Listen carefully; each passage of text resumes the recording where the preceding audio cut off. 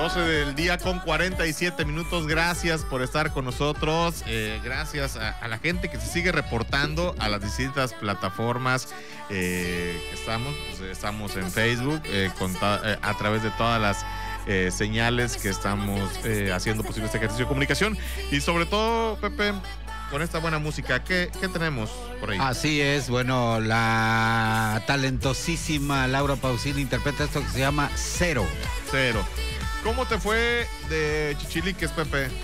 Pues bastante bien, la verdad es que toda la gente, nos dio mucho gusto ver cómo la gente se divirtió en grande, sobre todo los pequeños, ¿verdad? Yendo a pedir los chichiliques casa por casa y posteriormente pues los adultos disfrutaron de la fiesta del Chantolo en todo su esplendor en toda la Huasteca Potosí. Oye, qué padre ver eh, las, eh, las calles, no solamente de valles, de los municipios en donde estaba toda la celebración, su apogeo, la gente eh, haciendo de esta celebración una verdadera verbena y saliendo a participar, a a pedir chichiliques los niños. En fin, fue algo muy, pero muy padre, Pepe, lo que vimos esta semana en, este puente de Día de Muertos, que eh, a lo mejor no es la mejor temporada. Eh, porque pues platicando con algunos empresarios hoteleros dicen que pues es un turismo de familia, ¿no? Digo, muchos vienen a visitar a sus familias y es un tema pues más, más de, de unión y todo este rollo, ¿no? Pero sí, sí vimos muchos autobuses, algunos hoteles que están en, en el primer cuadro, llenísimos, con, eh, con un turismo, con una afluencia de turismo importante. Así es, afortunadamente eh, eh, sí es, es verdad, sí llegaron algunos, pero sabes qué, también en los otros municipios de la Huasteca Potosina mucha gente se fue a quedar en, en lugares que, en donde también hay hoteles en la zona sur de la Huasteca que pues están en lugares paradisiacos, la verdad es que son lugares muy bellos y bueno, pues sí, efectivamente no se puede comparar con las con las eh, vacaciones de Semana Santa o con las eh, vacaciones de verano, pero sí hubo algo de derrama económica y eso es sin duda alguna algo eh, importante recalcar. Y bueno, vamos a ver si estas cifras, pues, eh, general.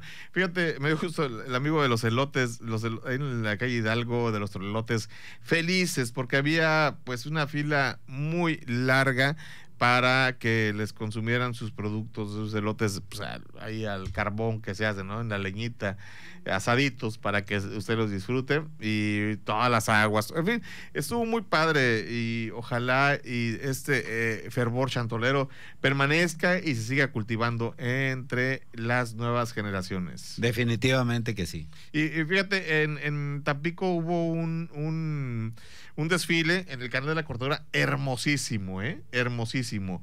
El, la, eh, la autoridad municipal eh, hizo un desfile acuático con eh, lanchas eh, eh, arregladas o alusivas al Día de Muertos y fue viral esto en las redes sociales, Pepe. Sí, definitivamente que sí. Bueno, pues ya ves que Tampico está explotando mucho ese lado bello al cual le han dado realce en la actualidad en los últimos años y pues la verdad es que sí le sacaron buen provecho.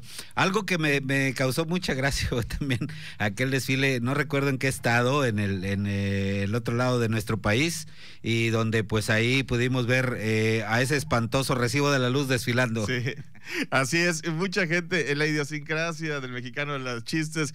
Y bueno, pues todo esto que se lleva la sátira, eh, el, termómetro, don Pablo Sergio, ya lo tenemos en la línea, don Pablo Sergio Espuro Cárdenas, él es, perdón, él es el titular del INE en San Luis Potosí, eh, perdón, ahorita seguimos con el tema de Chantolo, le quiero agradecer a Pablo Sergio que nos haya tomado la llamada porque pues el INE ya eh, inició la cuenta regresiva para el 2024. Don Pablo Sergio, ya le empezó la chamba. Qué gusto saludarlo. Pues la verdad es que siempre estamos cargados de chamba, pero todo lo que se hace antes está orientado a la organización del proceso electoral y a la recepción del voto, del sufragio de los ciudadanos. De modo de que, pues, al día siguiente de cada elección ya estamos construyendo el nuevo padrón para la nueva elección, la que sigue siempre en, la actividad acá. Esa, esa semana, don Pablo Sergio, tuvieron lo que fue la instalación, si no me equivoco, o cuál es el término. Sí, sí, sí, ese es. ese es. Este miércoles primero de noviembre Se instalaron en el país los 32 consejos locales, eh, acompañados de ciudadanas y ciudadanos que fungen como consejeros y de representantes de partidos políticos que vigilan escrupulosamente lo que vamos a hacer este, en, en materia de proceso electoral. Efectivamente, fue este miércoles. ¿Y cómo, de la mañana. ¿Y cómo se vislumbra, don Pablo Sergio, el 2024? Hay muchas versiones. Eh, el INE viene de una, pues, de una etapa, pues, un tanto eh, que eh, controvertida, sufrir ataques, eh, embates, pero bueno, dicen que el INE es más fuerte que la que la política de odio que a veces se puede generar en contra de él, ¿no? Pues seguramente este será un año difícil, el último año de esta administración federal que ha castigado severamente al Instituto Nacional Electoral. El día de ayer la Cámara de Diputados decidió en comisiones privar al instituto de 5 mil millones de pesos, como, como decir, este, te quito una pluma, pero 5 mil millones es el 20% el 20 al 25% del costo total de la elección, de una elección sumamente compleja, grande, con más de 20.300 cargos en disputa, donde se va a movilizar a casi 100 millones de ciudadanos que están en el listado nominal, en el padrón. Eh, esa es una, pero también tendremos una gran calidad organizativa, mucha experiencia, y bueno, pues en, en el contexto social, creo que ya lo sabemos, hay crispación, hay polarización, y nosotros esperamos eh, hacer un espléndido papel para que la sociedad pueda despertar el día lunes 3 de junio en Santa Paz con la casa eh, de valores y de bolsas tranquila, sin efectos macroeconómicos, sin impactos. Sin embargo, sí requerimos del apoyo de la sociedad y los gobiernos, ¿no? Eh, don Pablo Sergio, siendo muy directos, este tijerazo, ¿cómo le va a pegar al INE y cómo se va a traducir eh, o cómo se vislumbra en un escenario de riesgos, cómo le puede pegar a la cultura democrática que durante 30 años el INE demostró que se construía elección tras elección?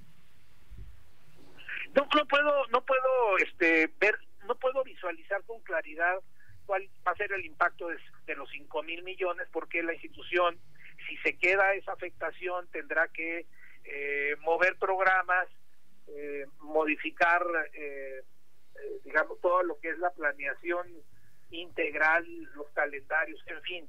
Lo que sí creo es que, a ver, de esos 5 mil millones, 3 mil 500 eran para una eventual consulta popular esto significa que lo ideal es que no se le ocurra a nadie ponernos a hacer una consulta el año que entra, antes o después de la elección, o el para el día mismo día de la jornada. Quitando esos 3.500 pesos que se estiman como impacto para ese concepto, que no nos lo están dando, la afectación real viene siendo de 1.500 millones. Por lo tanto, se tendrán que hacer los ajustes a nivel administrativo, desde, digamos, con un estudio, un diagnóstico serio que no afecte los programas esenciales operativos del proceso electoral eh, y yo creo que lo podemos hacer. Eh, pero no lo, no lo tengo claro, no lo tengo claro porque no me corresponde, digamos, yo soy un delegado de los 32 y este tema lo tendrá que revisar la semana que entra, supongo yo, el Consejo General. En, el tema de San Luis Potosí, ¿cómo eh, está haciendo la, la relación con los partidos? Muy bien, muy bien, muy bien, la verdad. Ahora el día primero de, noviembre tuvimos un gran espaldarazo, nos dieron los partidos, eh, los dirigentes, la sociedad civil, los gremios, las cámaras, los empresarios, las organizaciones de la sociedad civil, los colectivos, nos dieron un gran respaldo, la sala de sesiones estaba llena, llena, no cabía ahí un alfiler, eh, agradezco el respaldo de la Cámara de la Legislatura del Estado, agradezco a, los senadores, que ahí estuvo, ahí estuvo el senador Cervantes, agradezco a los dirigentes de los partidos, porque allí estuvieron de todos los partidos, eh, de todos, de todos los partidos políticos. Nos fue muy bien, me parece a mí, la relación es muy buena, también con los medios de comunicación, con las universidades, porque ahí estuvieron rectores. No, no, la verdad... ¿Se nos cortó? Sí, se nos cortó la... No, no, aquí estoy, aquí estoy. Ah, Adelante, don Pablo Sergio, sí, perdón. No, le decía que tenemos una gran relación con el contexto y con la ciudadanía, ¿no? Sí. En, en, esta, en este, en esta, pues buena relación, don Pablo Sergio, eh, el 2024 se antoja un tanto ajetreado, como diríamos en el, en el pueblo, pero, pero también, pues, un reto más para, para que el INE siga siendo el orgullo y fortaleza de México, ¿no?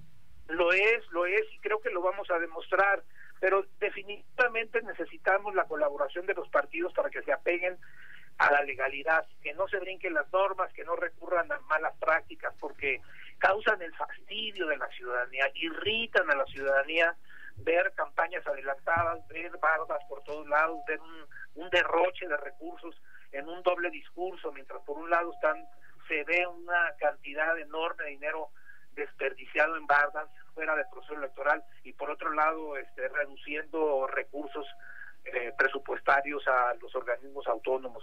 Me parece que es un contrasentido, la gente ya está muy irritada y nosotros seguiremos, seguiremos trabajando para convencerles de que no es lo que la gente espera. Pues don Pablo Sergio, como siempre, un gusto saludarlo y charlar con usted en esto que tiene que ver con las actividades del INE, que bueno, ya ahorita ya empieza a agarrar velocidad, lo que todo que tiene que ver con la organización electoral de la elección del próximo año, que va a ser, pues se antoja un tanto interesante y ya se ya se preparó para no dormir. Ya me preparé para no dormir. Sí, sí, sí, sí, sí. Bueno, ya ya estamos listos, ¿no? vamos a vitaminarnos bien nada más. Con unos buenos tamalitos, ¿no? Porque lo vimos acá en Chantolo. Sí, anduve allá, hombre, qué maravilla. Mi esposa y yo disfrutamos extraordinariamente esa visita a Chantolo. Fuimos ahí a, a, varios de los. De, fuimos a San Vicente, fuimos a, a Banquián, fuimos a Tamuín, en fin, lo disfrutamos mucho. Es muy grato, de verdad. No podíamos seguir sin tener esa experiencia. Les agradezco a ustedes siempre los, los huastecos extraordinarios, una gente de gran calidad. Pues ya, ya es potosino por adopción, don Pablo Sergio. Pues como siempre, un placer y vamos a estar en comunicación, vamos a estarle dando lata porque a partir de ahora el INE va a estar más, más, eh, más fuerte en la agenda de los medios, mi querido. Samuel, siempre serán bienvenidos. Muchas gracias, don Pablo Sergio, y estamos en comunicación. Don Pablo Sergio es puro Cárdenas, titular del INE en San Luis Potosí. Vámonos a una pausa comercial, regresamos, vamos a platicar con el periodista de Grupo Fórmula, nuestro amigo Juan Becerra Costa. Pues hay temas que hablar del escenario nacional. Regresamos. Samuel Roa, en la edición de fin de semana de emsavalles.com Radio. Una pausa y regresamos.